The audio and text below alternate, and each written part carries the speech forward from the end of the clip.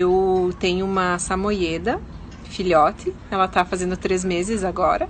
O interesse maior é, foi a questão da prevenção, que é aquilo que o Rafa fala, né? É melhor a gente prevenir do que corrigir.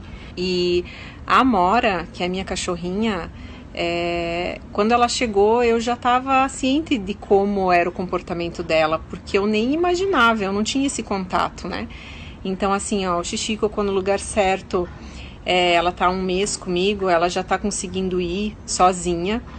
É, ela já vai sozinha, a cocô ela não faz no lugar errado, ela só faz no tapete higiênico. O que mais assim eu achei interessante é que o Rafa ele não libera os módulos todos de uma vez, porque não adianta você ah ensinar o senta, fica, né? Se você não entende o comportamento do cão, se você não é, não sabe lidar com o cão, não tem, não entende nada sobre isso, então assim, ó, não adianta você adiantar os passos, né? É todo um começo lá.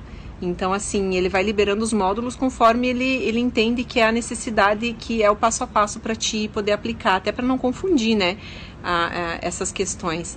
Mas, assim, eu estou muito feliz, imensamente grata, Rafa. Então, assim, é, a gente pensa que, que sabe, né, é, da, de como lidar com tudo isso, mas não sabe. E quando a gente vê que é tudo muito mais na brincadeira, tudo muito mais na recompensa, você para e pensa, nossa, em outro momento, quem sabe eu ia brigar com o cão, eu ia. É, e não ia resolver, ia só piorar, eu ia causar outros impactos, né?